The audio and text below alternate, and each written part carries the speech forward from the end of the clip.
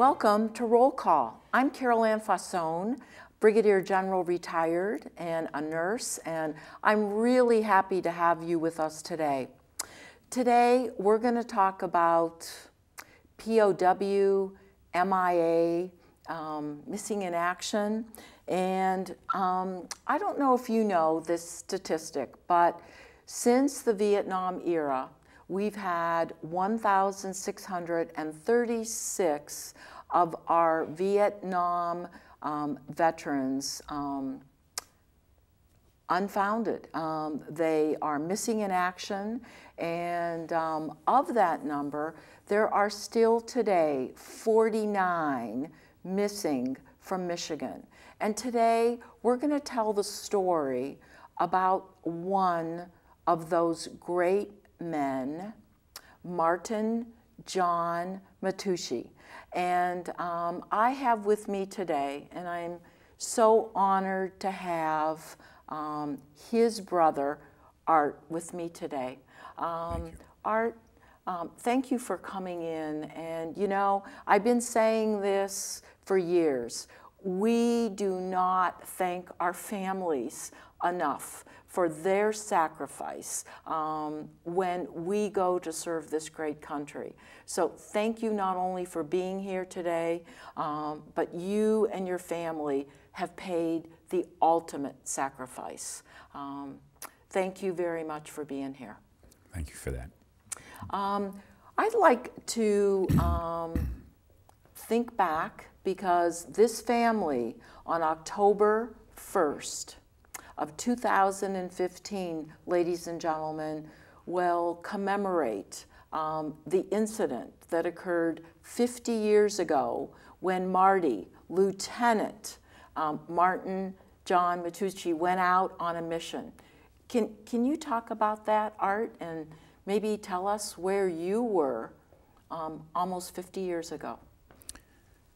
Well, I can tell you quite certain where I was on October 1st, 50 years ago. On the day of the incident, uh, we were notified uh, via telegram that my brother's plane was shot down and that he was listed as missing. And at that time, they were doing some uh, search missions to find the pilots. Uh, the plane itself, he was he ejected from the plane, and the plane itself uh, actually crash into the mountainside in North Vietnam. But when we got the information, uh, there was a telegram that came to my mother, or our, to our house. Uh, my sister, myself, and my dad and I all lived together at that time. Uh, before they delivered it, they made sure there was somebody home, which I thought was, looking back on it, I thought was the right thing to do. So does that mean your your family received a phone call, Art? Uh, like, is somebody home? We want to deliver something. It, That's exactly what it was. Wow. They called to see if there was somebody home because they were going to deliver something to the house. And my dad got home. My mother was alone. My dad got home shortly, and my sister was there when the telegram came. I was still at work. Now, um, Marty, and, and thank you, just to set the scene, Marty was the oldest. Marty was the oldest. Okay. Marty was, uh, a little side note, Marty was named after my grandfather. And in an Italian family, yes. that's how it went. First boy of the generation was named after the grandfather. And if the grandfather and father's name were the same, then it followed in that uh, order. When I came into the family, I was named after my dad, so we kept the family tradition of naming correctly. And uh, so he was the first male child of the generation.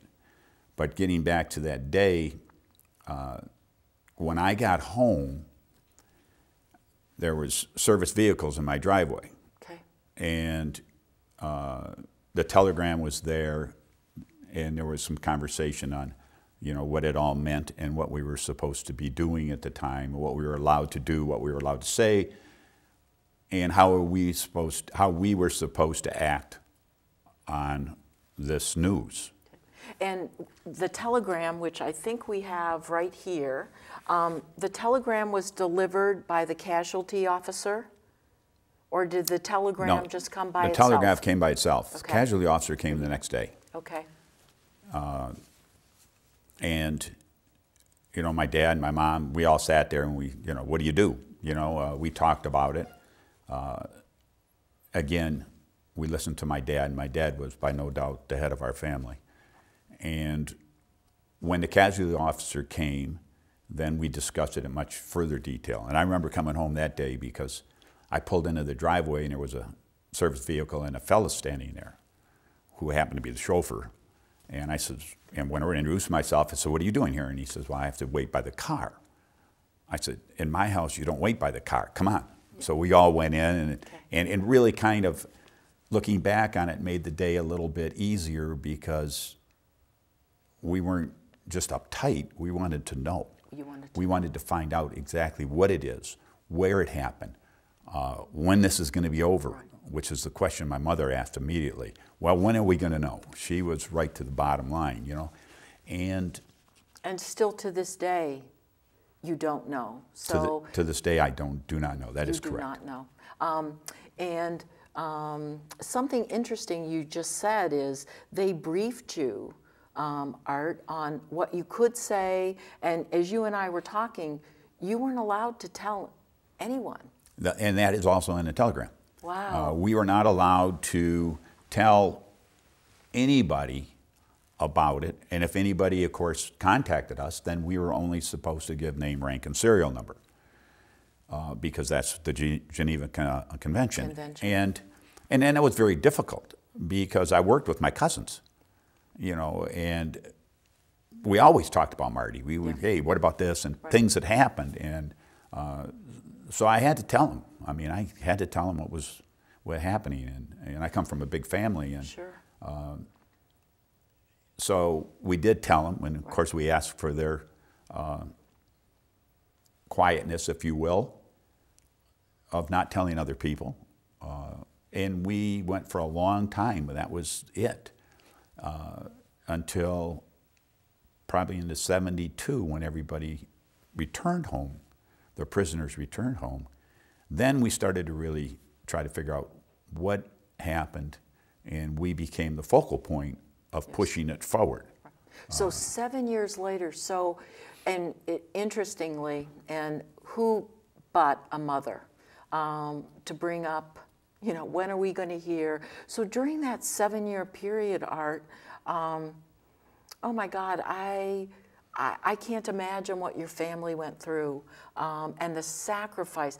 Did you get updates? Did, did somebody from the government call or keep you posted? What, what were those seven years like for you as a family? Well, uh, as far as the notifications from the government, we would get letters from the casualty officer or the officer uh, that was in charge in, in Vietnam when he left.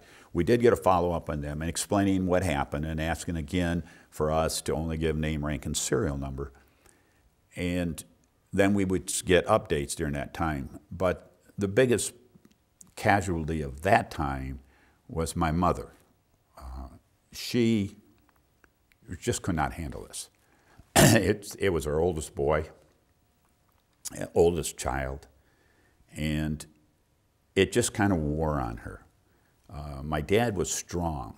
Uh, he just kept moving forward, uh, trying to find as much information as he possibly could.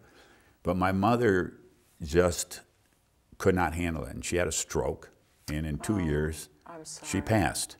Um, and I always said she is the unaccounted or unnumbered casualty of the war, as all of the other mothers Yes. of people in a similar situation. Yes. Uh, we did not go through this alone, but at that time we didn't have the input from the other uh, MIA's p- families, and so you couldn't bounce things back and Right. forth and, and talk about it. We were at that time it was quite uh,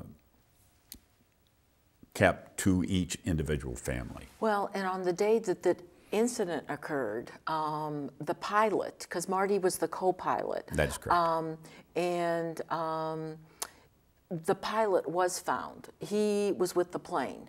And so those remains. And so for all those period, even to today, we keep bringing up, you can't put this to rest. No, you can't, because I mean, it's his family. Yes. And uh, it's a situation that happened, and you want to find out everything you can about it, and you go through all of the steps that you possibly can as an individual family member with your government, and and you do that. But the, the findings uh, of uh, the fellow that flew with my brother, that wasn't until recently Okay. uh, that they found, you know, they went to the crash site. Uh, actually, they were there four times, and they found uh, remains of uh, the pilot and identified them through DNA that that's who it was. Uh, therefore, during the report that came back, there was a shoot uh, sighting, so it had to be my brother's shoot. Okay. And we always felt it was from the reports that we got back from the fellows that were flying with him, by the way the plane actually, you know, went on its route toward the mountain, it would have had to been him. Because this was um, a mission. They were in the lead plane. It was an F-4C. Um, on that issue, uh, on this mission, and uh, it was over North Vietnam. Um, that's that's a lot to go through. Well, and when you find it out, uh, you see my brother in reports, and I'm going to give you an example of that. The lead plane, as soon as they left uh, for the mission, had mechanical difficulties. My brother's plane took the lead. I don't know what kind of conversation that was going on, but if I know my brother, I know why he took the lead. He was just, that was him. So uh, they took the lead. Um, and it was only his second mission, you know, because he went, you know, went to Vietnam in August, uh, went on one mission in September, and went in on October 1st. So, And, and, and Art, as um, you know, we, we talked about and things that you found out, this was not Marty's squadron. Um, somebody else uh, was not able to, um, to do the mission, and we don't know, but you were speculating, if, if I know Marty, he volunteered to take That's- that that's and- correct. and go on this mission. that is correct. That is Marty. Was Marty in this mission, um, Art, the only um, POW MIA of that mission? Of that mission, that is Of correct. That mission? Mm. Well, uh, his pilot Yes. would have also been Yes, until he was found. Until he was found. That is correct. So those remains still um, unfounded. It, it's just Marty from that mission. That is correct. That incident. Wow. So you lost your mom, and I know you lost your dad. Well, I lost my dad many, many years after that. Okay. My dad was 90 when he passed away. And we talked about this a lot. And I always felt that the same reason my mom passed was she couldn't handle it. This became my dad's strength. Yep. and uh, and, and he was very involved in different kinds of ways to find out different kinds of information.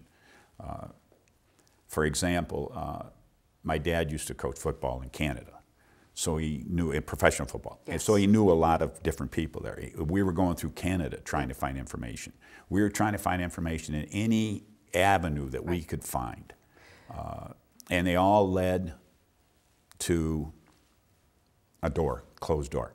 And, and you know, and Art, as we get ready to take a break, um, when we come back, um, I'd like to talk about the different mechanisms, um, the different strengths. I mean, you, you saw your mom and you saw your dad, and being the head of the family, I'm certain. I'm, I'm sure um, he was the strength um, that kept all of you, but you each need to cope in your different fashion. And so we'll talk about the National League um, that came about in the 70s and how we're approaching it today um, that uh, maybe has a little different um, bearing for our families. And once again, I, I am so sorry for your loss and the sacrifice that the Masucci family has gone through all these years. Um, we will be back with you in a few minutes. Um, please return um, to roll call. Thank you.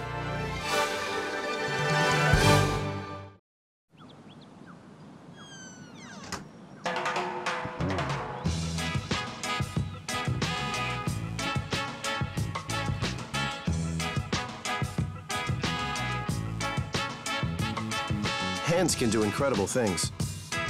Now they can even help save a life with hands-only CPR.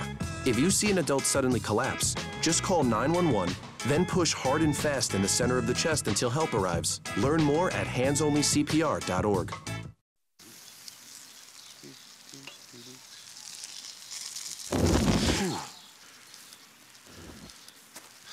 Here we go.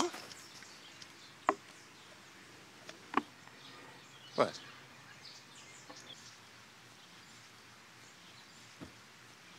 What?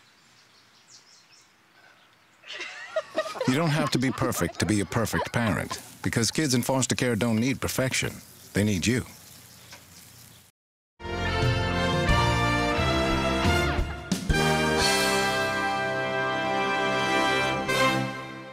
Welcome back to Roll Call. I'm Carol Ann Fassone, and I am very privileged to have Art Masucci with us today um, to tell the story of Lieutenant Martin John Masucci.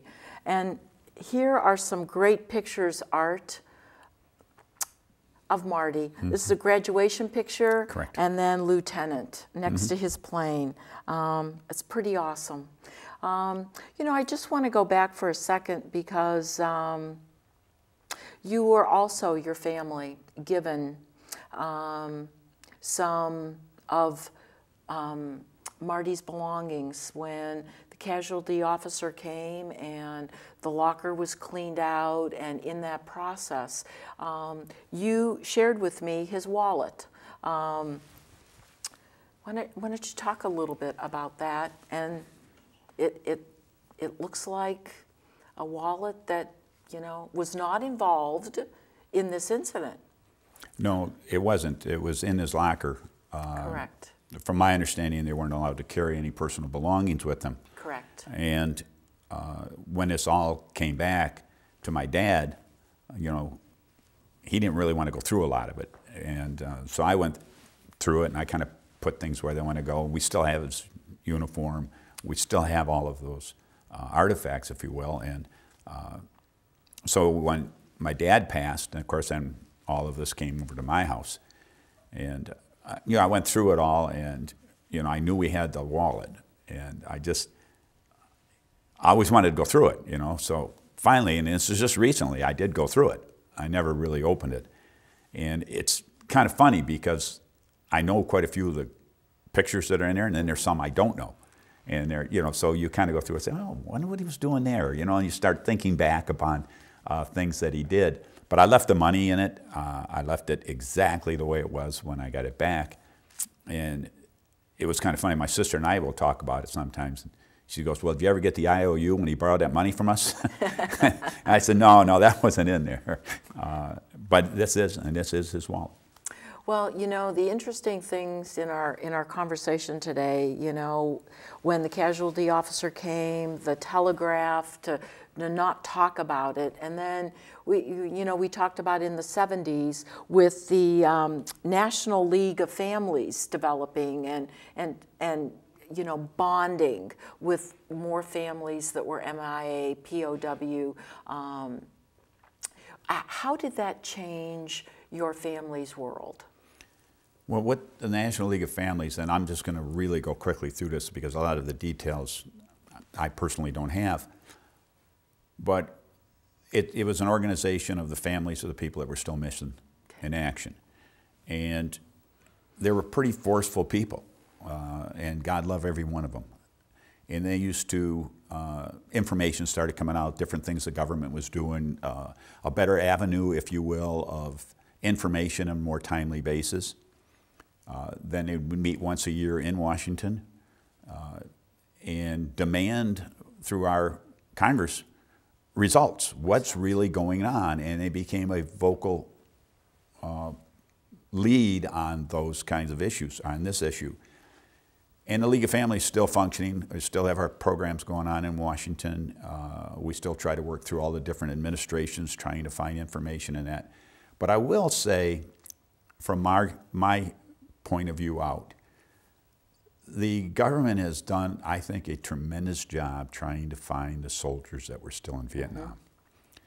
And we can go there, we go through the files, we go through all of the information, and we know, or I'm going to say we, especially myself, I know everything that they know, which is really something.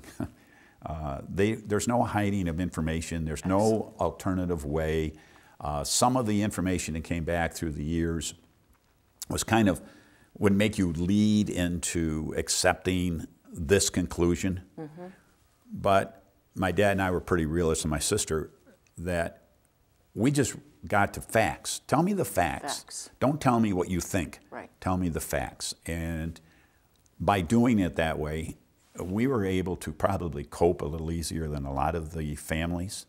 Um, and it's kind of funny, like each family is different. Yes. If you're married, it's the wife who is in charge of the Yes. case.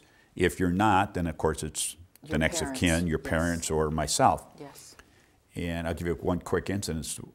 The fellow that flew with my brother, his wife closed the file. His sister did not know what went on. And I remember we were sitting in Washington one day, and I said to her, I said, Barbara, come on with me. So where are we going? Come on with me. Yes. So we went in, and I got out my brother's file. I said, they were in the same plane. Yes. It's got to be the same file. And boy, I, I never saw a woman so pleased. I mean, that made me feel so good that you that I was them. able to help Yes.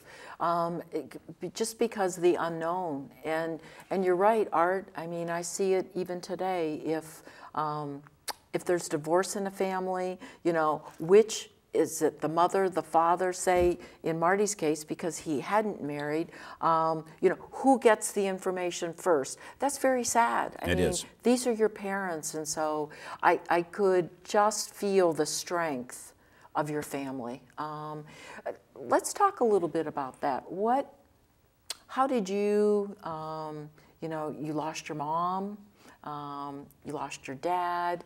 How did you cope?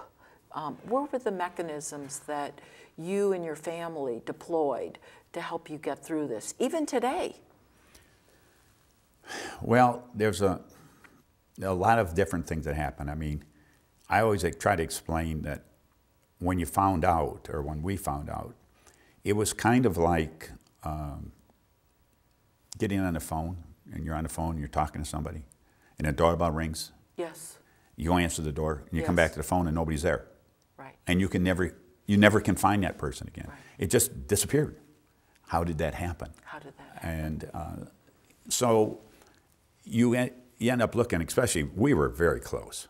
I mean, our family is extremely close. And so, how, you know, my dad would cope with it his way. He was pretty silent about a lot of it. Uh, and then when he would talk about it, he was very factual.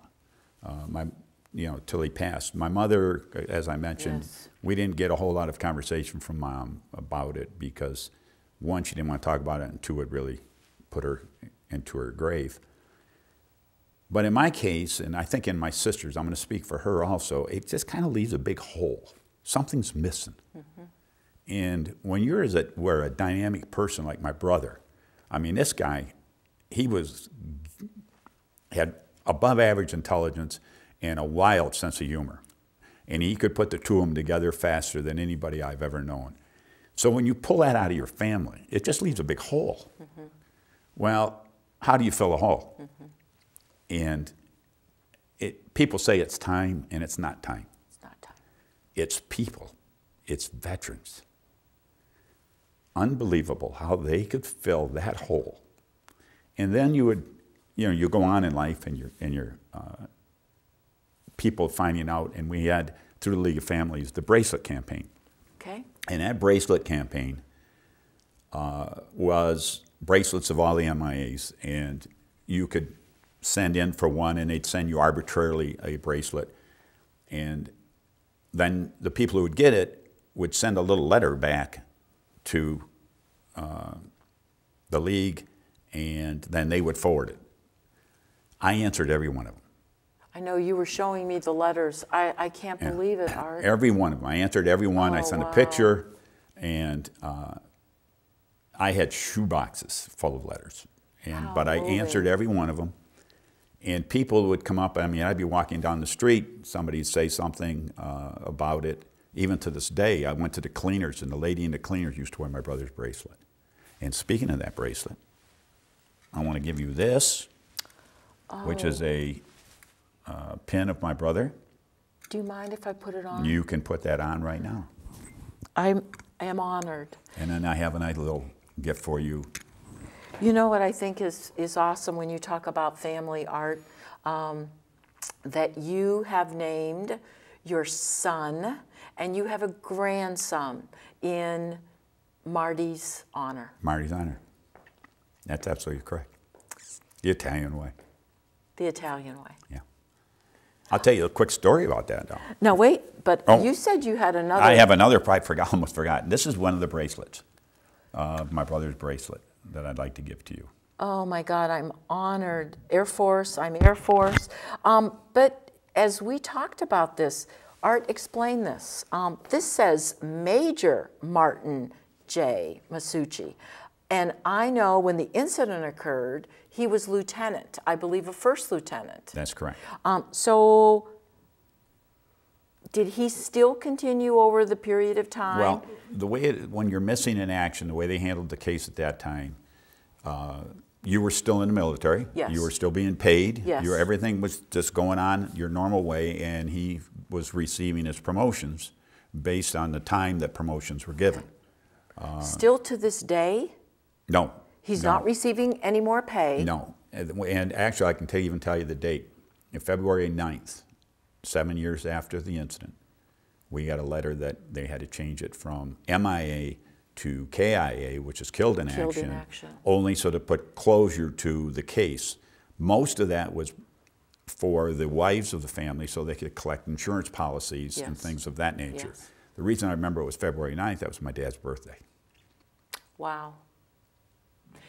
But really, are they might have closed the case, um, and from the facts that you know you were telling us that you received. But honestly, in your heart, how you haven't put this to bed yet, have you? No, no. I, I mean, how can you put something to bed that you don't? You can't just wake up and say, "Okay, I'm going to put this to bed." You have to have some reason to put this to bed. You have to have some kind of real, tangible facts that's going to put this to bed. Although I'm a great believer that of the 1,600 plus people are still missing in Vietnam, some of us will never, never know. We know that. 49 in Michigan, um, which Marty is one of them. That is correct. um, grew grew up, raised in Royal Oak. Well, no, we were we grew up in Detroit and Highland Park. Okay. We moved to Royal Oak when I was in college. Okay. So but still in um, a, a great um, resident yeah, of, of our great state of Michigan. well, we, we were always in Michigan. You, you didn't have a formal burial, um, you just close the case and he's deemed killed in action. We didn't close the case. You didn't close the No. case. Uh, and that's, Right, and and it was really when they did that, uh, the casualty officer came Yep. with you know the American flag and and those things, and we had a mass at Shrine Little Flower, and my kids. At that time, my, my kids, they're all grown. Yes. They were little, and they walked all the stuff up, and it was really a, a very, very moving episode of trying to put some kind of closure yes. to my brother's case. Well, you know, the beautiful thing, and I know how hard it is, but as we said today, is telling a story um, of a great American hero. And you continue to carry that legacy and to share that story not only um, with your sister your children and now your grandchildren. And I am positive they know the story of Lieutenant John or Major Martin John Masucci. That is correct. Boy, they do too. And 50 years, um, I, I cannot imagine what October 1st, 2015 is going to be like for the Masucci family. Um, um, I'm, I, am, I am hoping that in your lifetime um, you will get some closure. Thank you. So am I. I, I really want to thank you for telling this story. Um, you were sharing with me your daughter is a teacher. That is correct. She goes out and um, she tells the story. She tells the story. She puts on a program at the schools and she tells a story um, of the MIAs, POWs, and the family behind The story. each one of them. And you know, um, ladies and gentlemen, Recognition Day for POWs, MIAs is always the third Friday in the month of September. This year, it's September 18th. Um, but I believe, you know, we should not forget these great veterans every single day of the whole year um, and the sacrifice with our families. Um, you've been through a lot. Thank you. Um, is there anything, Art, that I didn't ask you that you'd like to share with our audience today?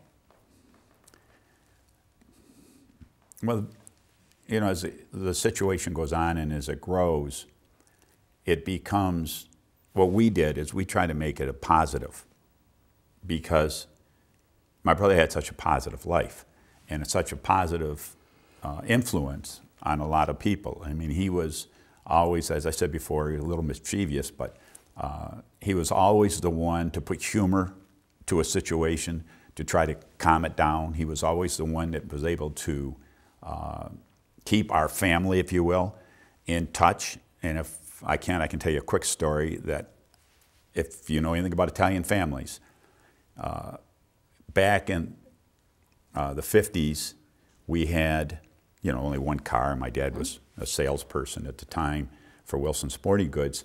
And, you know, so my brother has his license and, you know, wants to buy the car. You can imagine the whole situation. and he took the car one day out on a date, which was nice. And in our house, you had to be home at midnight. And one minute after midnight, it's like come home at five o'clock. You had to be home at midnight. You were in trouble. That was it. And uh, he got home a little bit late, and I said, "Mo, you're in trouble." We used to, we shared the same bedroom. I said, "Boy, you're in trouble." And he's, "Nah, I can." Next day goes on. It was a Saturday. My dad never said a word. And my sister and I just walking around. We're waiting for the hammer to fall. Eggshells, yep. Oh my gosh! And I'll never forget this. And he says, uh, "You know, so we're talking, and my mom's. We don't know what's going to go on. My dad didn't say a word all day long. I mean, he talked, but he didn't talk to my brother. So we, we always had dinner together. I don't care where you were, we had dinner together. So my brother's sitting there, and we're all just talking. And finally, my brother said to my dad, he says, "Hey, Dad, can I have the car tonight?" Boy, I mean, I just kind of ducked. I thought, you know, you just don't do this kind. of. And my dad went on his 15-minute homily of how you get home, this is what you do, and this is all this. And my brother just waiting. My mom's sitting there. We're all kind of like frozen. And my brother looked at my dad after he got all done with this, and he goes, "Hey, Dad, why do you need the car at midnight? You're not going anywhere." and we just, my mom started laughing, and when my mom laughed, my dad laughed. So I mean, he would just mellow a situation. He was just that kind of guy. Well, um, thank you for sharing the great story. Um, and um, hopefully, someday soon, um, we will find the remains. And um, you could have some rest and your family. Um, I cannot thank you enough for coming in today, um, Art, to tell the story of your brother. Um, and to thank you again and your family for the great sacrifice. Um, our men and women are out there fighting for this great country, but our families do not get the recognition um, that they really deserve. And your family has paid the ultimate sacrifice. So thank you. God bless you and your family. Um, I want to thank all of you for being with us today um, on this very special um, day for POW MIA recognition to talk about the life and the story of Major Martin John Masucci. I want to thank the crew here at SWOCC. You're awesome. And um, have a great day. God bless you and God bless your families. Tell a veteran thank you um, for their commitment to this great country and their family. Thank you.